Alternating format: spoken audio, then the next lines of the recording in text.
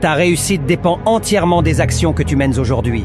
Alors, évite ces trois choses si tu ne veux pas échouer. Numéro 1, la comparaison. Arrête de penser que les autres sont mieux que toi, parce que tu acceptes de te comparer aux autres uniquement quand tu ne connais pas ta valeur, quand tu n'as pas confiance en toi et quand tu n'apprécies pas toutes les choses que la vie t'a données. Numéro 2, le confort. Les personnes qui vivent la vie que tu rêves ne sont pas plus intelligents que toi. Ils ont tout simplement affronté leur peur et passé à l'action. Si tu veux atteindre tes objectifs ou réussir dans quoi que ce soit, tu dois accepter d'affronter tes peurs et sortir de ta zone de confort. Numéro 3, chercher la perfection dans quoi que ce soit est une prison. Ma vie a changé quand je me suis rendu compte que je n'ai pas besoin d'être parfait, mais que j'ai juste besoin de m'améliorer. La perfection est l'ennemi du bonheur parce que malheureusement elle n'existe pas. Tout être humain commet des erreurs, se trompe, parfois maladroit ou désorganisé.